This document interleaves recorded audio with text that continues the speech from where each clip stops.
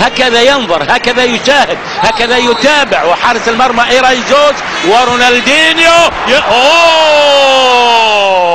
علقها خلاص!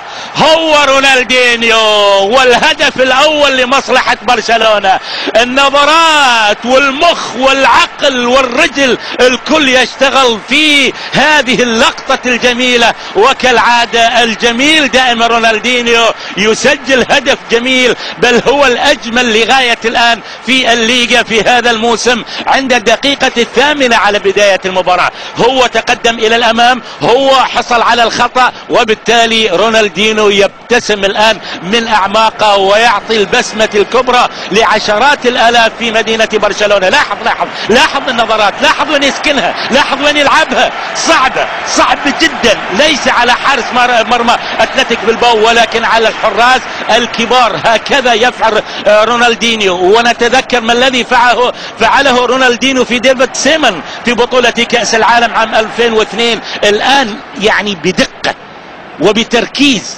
ولا ورونالدينيو يحطها في المقص الأيسر وبالتالي من يبحث عن الهدف الأول لبرشلونة